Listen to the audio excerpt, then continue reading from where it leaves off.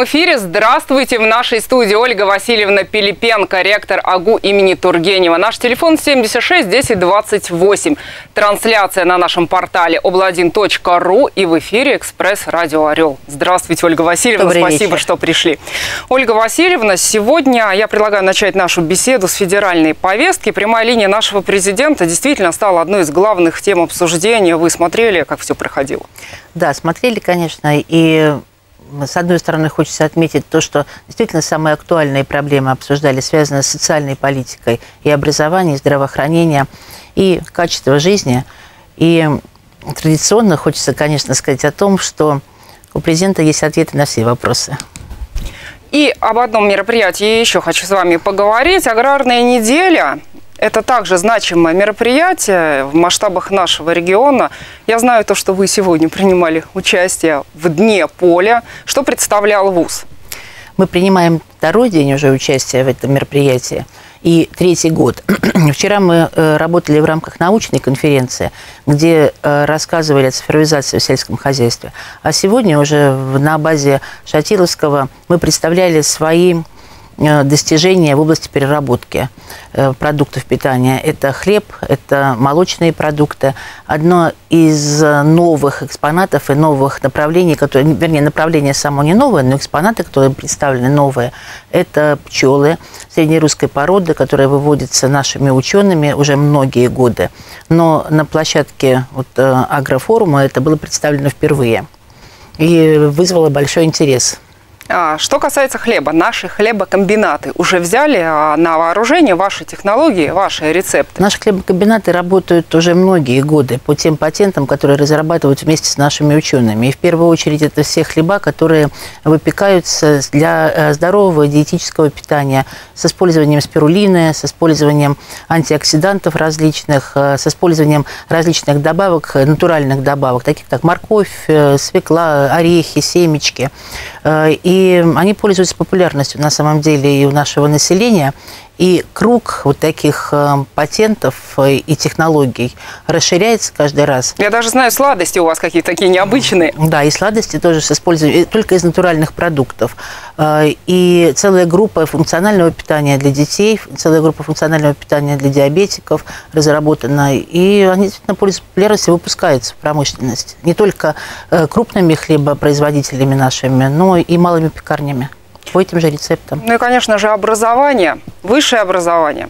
Главная тема нашей сегодняшней беседы. Э, Немного статистики. По последним исследованиям Высшей школы экономики Орловщина находится на шестой а, позиции с точки зрения образовательной привлекательности. Ваша лепта какова в этом? Эм, Действительно, эм, озвучено то, что Орловская область становится более привлекательной в образовании, было на апрельской конференции, которая проходит традиционно в Высшей школе экономики. В ней принимают участие ведущие ученые, ведущие политики, не только нашей страны, но и со всего мира. И когда мы обсуждали вопрос привлекательности регионов с точки зрения образования, конечно, в первую очередь ставили это национальной толерантности, доступность образования и количество мест, которые выделяются для а, обучающихся, но и возможности местной системы образования, не только нашего университета, но и те, которые сегодня есть в регионе, э, качественно обучать э, студентов, абитуриентов. И это было отмечено в том числе на таком серьезном уровне. Э, Мы находимся выше таких э, научных и образовательных центров, как э, Санкт-Петербургские университеты, э, как Томские даже университеты по некоторым позициям именно с точки зрения привлекательности. Но здесь, наверное, еще и географический фактор играет роль. Э, Но и вместе с привлекательностью региональное высшего образования обсуждался вопрос и о э, качестве выпускников с точки зрения их трудоустройства. И мы тоже находимся на достаточно высокой позиции. Правда, было отмечено то, что и научно доказано, то, что 25% из наших выпускников покидают э, Орловский регион и уезжают работать в Москву. Но, с одной стороны, мы гордимся тем, что высокую оценку дают качеству образования. Но, с другой стороны, у нас 40% иногородних. Поэтому 25 из тех, которые заканчивают обучение, уезжают, все-таки Домой. И наверняка и жители Подмосковья все-таки тоже у нас 15 учатся. остается здесь. Да, это отрадно. К рейтингам можно относиться по-разному, но есть такие действительно серьезные рейтинги, которые заслуживают э, внимания. Недавно стало известно, что опорный вуз вошел в топ-25 лучших вузов мира по версии глобального рейтинга. Что это значит и закономерен ли такой результат? Но вообще рейтингов существует множество. Самым престижным считается рейтинг QS, э, далее таким же престижным, но э, в другом направлении. Это THC рейтинг, это международные рейтинги, которые оценивают, QS оценивает науку, и здесь эм, вузы, которые ходят в первую сотню университетов, это в основном те вузы, которые подготавливали в своей истории Нобелевских лауреатов. Те вузы, которые имеют эм, историю более там, 250-300 лет – в рейтинге THE это рейтинг предметный, э, и оцениваются вузы с точки зрения э, и работодателей в том числе, но по предметам, по дисциплинам, как трудоустраиваются в первую очередь выпускники, как они востребованы на рынке, в большей степени он ориентирован на классические университеты и на такие фундаментальные науки, как математика, физика, естествознание, химия и так далее. Мы э, участвуем в рейтинге ТИЧИ. До QS мы пока еще не пробились. Э, но, по крайней мере, мы присутствуем там не на очень высокой позиции, но э, мы там есть по отдельным предметам. Еще раз подчеркну. Э, есть очень престижный молодой сравнительно рейтинг, шанхайский рейтинг, в котором первая позиция занимает все-таки это выпуск Нобелевских лауреатов. Мы пока туда не не рассматривали себя. Но в QS, в THI мы себя оцениваем, мы начинаем туда пробиваться. Рейтинг, э, мультирейтинг, в котором мы участвуем третий год – уже значит, он действительно оценивает позицию вуза по всем категориям. И по количеству студентов, и по возрасту университета, и по расположению, и по климату, в котором находится университет, и по привлекательности, и по трудоустройству, и по оценке работодателей, и по оценке коллег. Поэтому мы сделали существенный такой скачок в этом рейтинге э, за три года, находясь на позиции там, за тысячи. В прошлом году мы были на позиции около 600 -й. Сейчас мы пробились, потому что э, ну, большая работа проделывается не только с заполнением базы данных, которые в рейтинге оцениваются, но и большая работа с нашими партнерами, и с вузами-партнерами, и с предприятиями, и с работодателями. Причем вуз сотрудничает студенты. с нобелевскими лауреатами. Да, это тоже важно, но мы немножечко э, теряем, вот, допустим, в рейтинге Интерфакс теряем позиции, потому что мы проходили процесс объединения – и та база, и переименование университета. База Орловский государственный университет, Орловский технический университет, УНПК был Приокский университет. Вот эти базы надо все аккумулировать и ввести под одну Орловский государственный университет имени Тургенева. Поэтому э, столетняя история найти, вытащить всех, кто каким-то образом аффилирован с университетом, и занести в эту базу. Э, вот этой работой мы занимаемся. Когда мы это сделаем, я думаю, что мы поднимемся в рейтинге ETH и в рейтинге нашем Интерфакс. И сегодня новый рейтинг. Это три миссии университета, инициирован нашим российским э, союзом ректоров. Э, он достаточно жесткий на уровне вот THI, на уровне КС рейтинга. Мы тоже начинаем набирать там потихонечку свои позиции, отслеживать, что нам нужно делать для того, чтобы в этих рейтингах занимать хорошие места. Ольга Васильевна, у нас первый звонок. Послушаем телезрителя. Здравствуйте, вы в эфире, мы вас слушаем. А, Ольга Васильевна, здравствуйте. А, здравствуйте, Хотелось как вас зовут? Давайте представимся. А, меня зовут Марина. А, я бы хотела вам задать такой вопрос. А, я знаю, что во многих университетах, когда поступают абитуриенты, то помимо вступительных испытаний, помимо баллов ЕГЭ, начисляются еще дополнительные баллы. Скажите, пожалуйста, за что можно получить такие баллы при поступлении в Орловский государственный университет? Спасибо вам большое. Спасибо, Дан, за вопрос. Действительно наступает пора приемной кампании, и многих абитуриентов, родителей волнует вопрос, за что все-таки будут баллы, кроме ЕГЭ.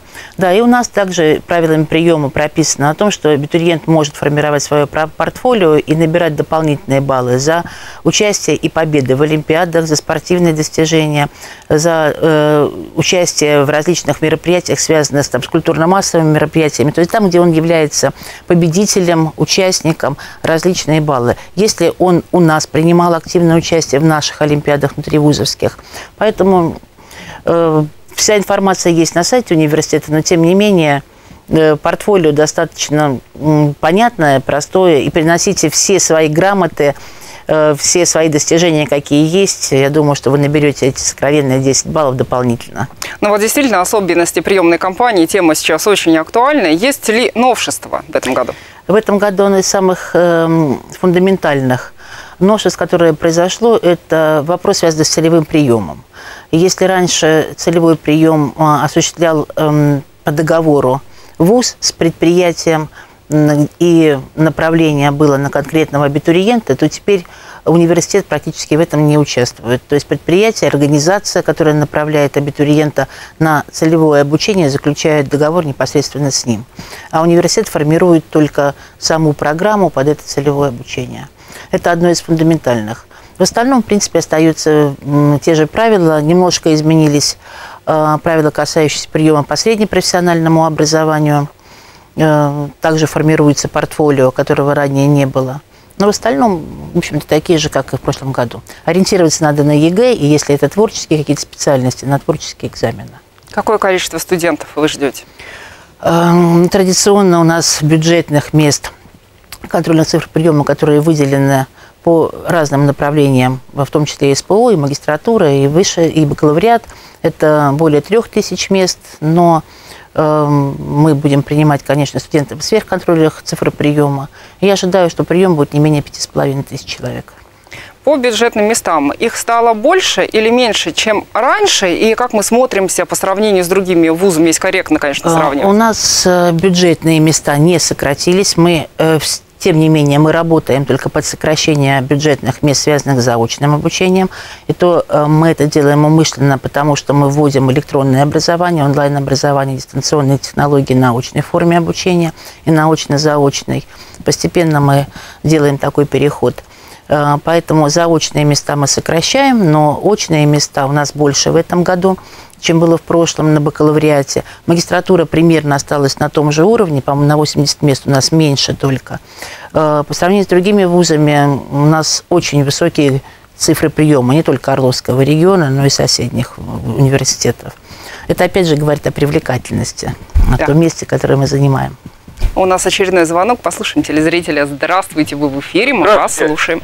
Скажите, пожалуйста, э, вы вот ректор э, это, польского корпуса тоже, наверное, да? да? Почему такой бардак вот у вас там около этого института? Памятник Пушкину, юбилей был, лавочки грязные, не, крашеные, одна лавочка но боком, а рождение все ржавое. Вот это Пушкин, Пушкин юбилей был. Столбы стоять напротив, чтобы никто к вашему институту не подходил. Ржавые. Я еду позавчера около общежития, бутылки валяются при входе, мусор валяется. Вы уже себя чувствуете, что вы в думе сидите. Спасибо, Почему мы постараемся ответить на ваш вопрос. Вам спасибо. Нет, я отвечу на этот вопрос абсолютно согласна с теми замечаниями, которыми делится, но, к сожалению, земля, которая находится вокруг польского корпуса, не находится в управлении университета. Использовать средства свои университета для того, чтобы красить, э, белить, убирать ее мы не имеем права, просто потому что мы являемся бюджетным учреждением. Субботники, тем не менее, мы организовываем, мы убираем, но абсолютно согласна с замечанием, которое сделано, это не просто замечание, действительно, это крик души. И, тем не менее, мы не просто стараемся убирать, там, приводить корпуса в порядок, мы делаем освещение, подсвечиваем корпуса вечером, чтобы это было место привлекательно.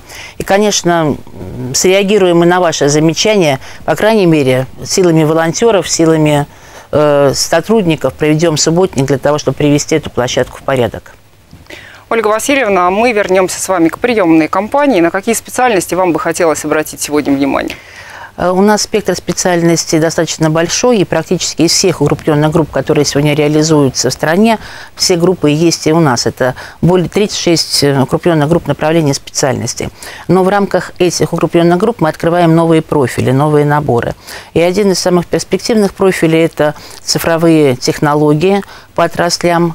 Э, это направление связано с цифровизацией, с, интеллектуаль... с искусственным интеллектом, с нейросистемами, с интернетом вещей, э, с мобильными приложениями, но не только с точки зрения программного обеспечения, но и с точки зрения микроэлектроники, с точки зрения экономики, э, CDO-менеджеры, которые должны управлять в рамках цифровой экономики, будут готовиться в этих направлениях. То есть это вот новое, то, что отличает нас э, сегодня других соседних университетов. Мы на эти программы приглашаем специалистов и своих специалистов, переобучили в течение года, научили, сделали такую серьезную прокачку, чтобы они были готовы к реализации этой программы. Вот. Но, а, конечно, в каждой программе, которую мы реализуем, есть свои новшества, которые вводим. Серьезное внимание мы уделяем э, сейчас и э, воспитанию, патриотическому воспитанию, краеведению. Во всех программах вводятся элементы краеведения, вводится теологическое образование э, по всем направлениям. То есть это такие модули, которые будут внедряться. Поэтому в общем-то, мы не стоим на месте, и стандарты новые, которые пойдут с 1 сентября, они позволяют адаптировать программу еще под конкретного заказчика. То, что мы и делаем. А у нас очередной звонок. Послушаем телезрителя. Здравствуйте, вы в эфире, мы вас слушаем. Как вас зовут? Меня зовут Игорь. Слушаем вас. Э, э, скажите, пожалуйста, изменится ли правило для выпускников техникумов, колледжей при поступлении в институт? Не будет ли введен ЕГЭ для них? Спасибо вам большое. Да, спасибо. Нет, в этом году правила действуют такие же. Еще раз подчеркиваю то, что теперь выпускник колледжа или техникума может также сформировать портфолио. То есть свои достижения, которые у него были сделаны. Это может быть соревнования WorldSkills, это могут быть олимпиады, это могут быть достижения в спорте. Они добавят ему дополнительные баллы. А так, э, на сегодняшний день выпускники колледжев и техникумов сдают внутренние экзамены в каждом университете, в каждом институте. Ольга Васильевна, что планируется сделать в ближайшее время для улучшения быта как студентов, так и преподавателей? Наверняка есть такие люди, которые нуждаются в решении своего квартирного вопроса. Ну, мы, естественно, сформировали и свою очередь для преподавателей, для сотрудников, эм, для того, чтобы хотя бы оценить, насколько мы сегодня нуждаемся в жилье. Это очередь более чем из 80 человек. Совершенно разные категории наших сотрудников, преподавателей находятся в этой очереди. Этот вопрос неоднократно мы ставим перед правительством Орловской области.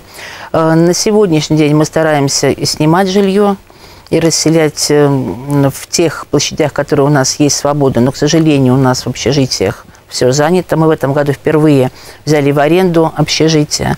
Э, мы брали часть, но в этом году будем вынуждены брать целое общежитие в аренду и нам предстоит, конечно, его привести в порядок, отремонтировать за лето, создать там условия для ребят. Мы э, действительно очень много, 10 общежитий. Э, большие средства вкладываем и в ремонт, и в обновление мебели, и в состояние там, душевых мест общего пользования. Но, тем не менее, конечно, в этом проблема существует.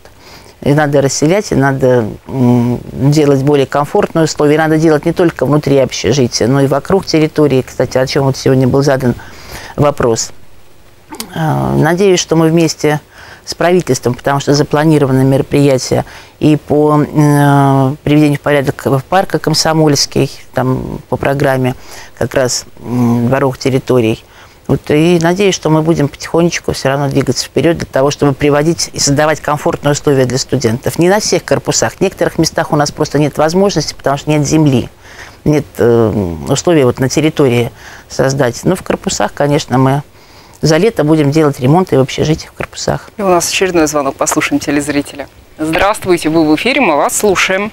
Здравствуйте, Ольга Васильевна. А, расскажите, а какими достижениями вуза в регионе вы гордитесь больше всего? Спасибо вам большое. Самое большое достижение вуза – это наши студенты. э, это наши преподаватели, педагоги, но это действительно достижение, потому что сегодня студентов или обучающихся, как по закону об образовании принято говорить, по самым разным формам обучения у нас 21 тысяча.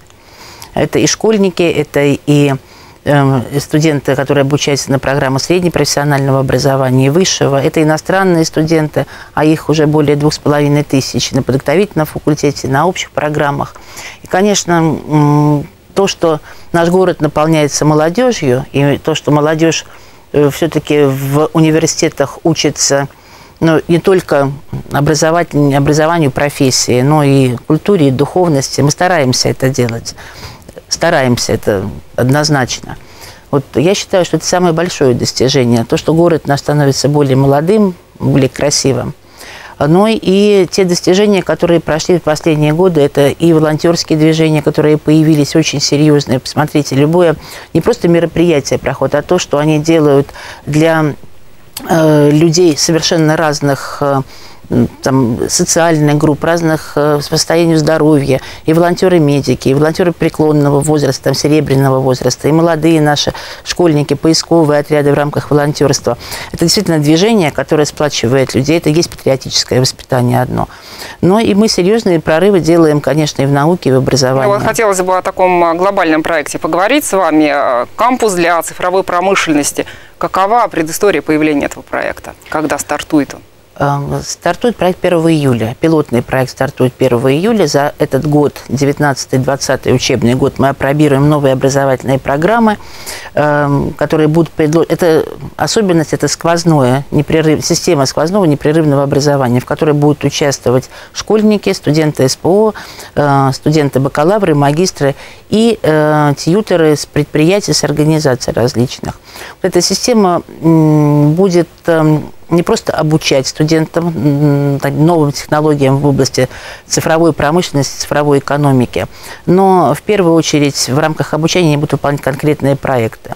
Проекты амбициозные, которые не выполнялись никогда. В частности, вот пилотный проект стартует 1 июля, когда группы ком команды э, будут эм, программировать беспилотные летательные аппараты на самые сложные задачи в замкнутых, на замкнутых пространствах, по определенным траекториям, э, по поиску предметов, по переносу предметов, те, которые еще не решались, там есть особенности такие, они будут работать и программировать нейросети. Это тоже интересное направление, причем то, которое пока у нас э, в регионе не очень сильно развивалось.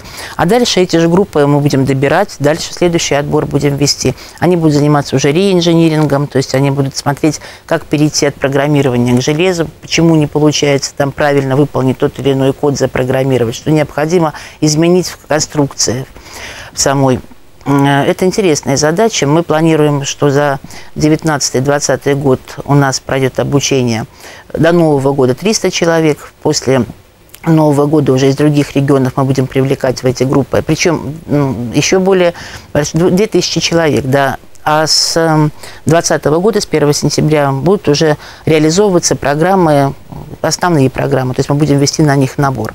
Особенность в том, что ребята будут не только работать здесь, на площадках университета, но они будут в распределенной сети работать, выполняя такую командную работу, обмениваясь через онлайн-платформы всеми своими достижениями. А потом заканчивается каждый этап будет соревнованиями. И лучшие будут, конечно, отмечаться и проходить дальше.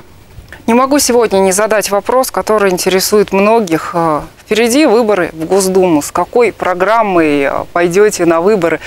Уже начали ее составлять, формировать, или она уже есть у вас?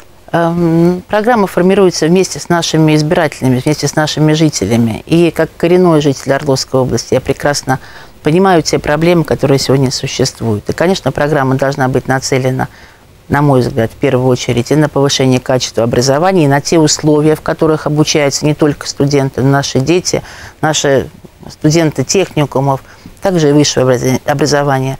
На тех условиях, где обучаются и где они проживают, и кто их учит, и как их учат. Очень серьезная проблема, которая у нас существует, это здравоохранение.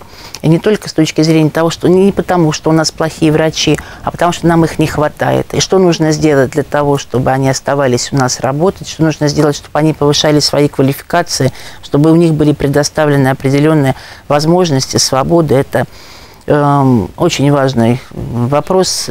Ранняя диагностика заболеваний, которая не очень на хорошем уровне у нас сегодня – вот что мы должны сделать, вот э, это основные. Ну и, конечно, еще раз подчеркиваю, это те условия, которые должны в программе мы должны подумать вместе с нашими избирателями, вместе с нашими жителями, что мы должны какие наказы они дадут мне для того, чтобы э, наша область стала и инвестиционно, и инновационно привлекательной, и чтобы, самое главное, каждый житель чувствовал себя в ней комфортно и счастливо. Мы пообщались с орловчанами. Давайте посмотрим, что они вам сказали.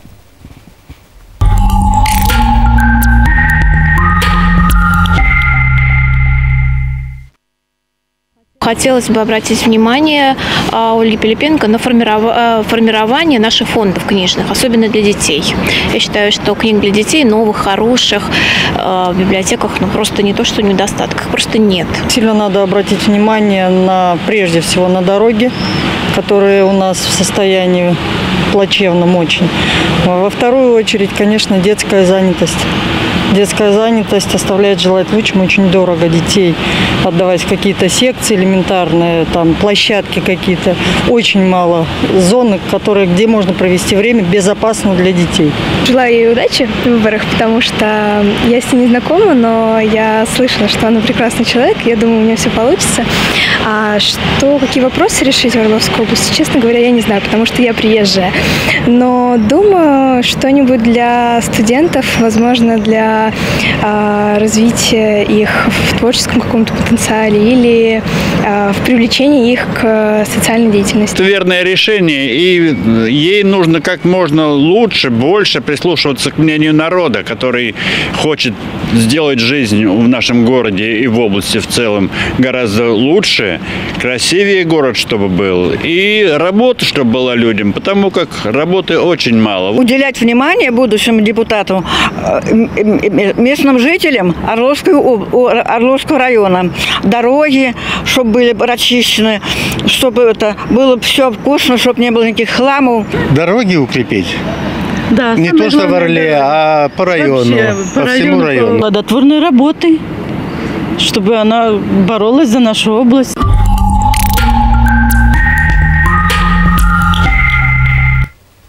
Вот такие мнения, Ольга Васильевна. Очень приятное и хорошее мнение. То, о чем мы и говорили. Действительно, вопрос о детской занятости очень острый. Поэтому и в том числе вот этот кампус, о котором мы с вами говорим, проект, он тоже направлен на это. И это очень серьезная задача.